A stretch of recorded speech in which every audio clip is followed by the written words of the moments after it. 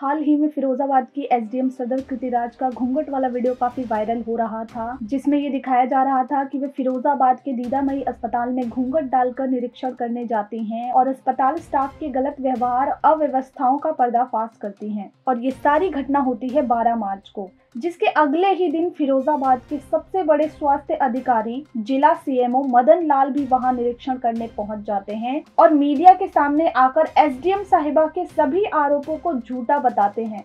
अब क्या इसमें कोई राजनीति चल रही है या फिर किसी तरीके का कोई मुद्दा है जिसे दबाने की कोशिश की जा रही है? तो चलिए जानते हैं। कि लोगों का कहना है कि सरकार इस मुद्दे को दबाने की कोशिश कर रही है, जबकि एसडीएम साहिबा कृति राज इस मामले की सच्चाई को सामने रख रही हैं।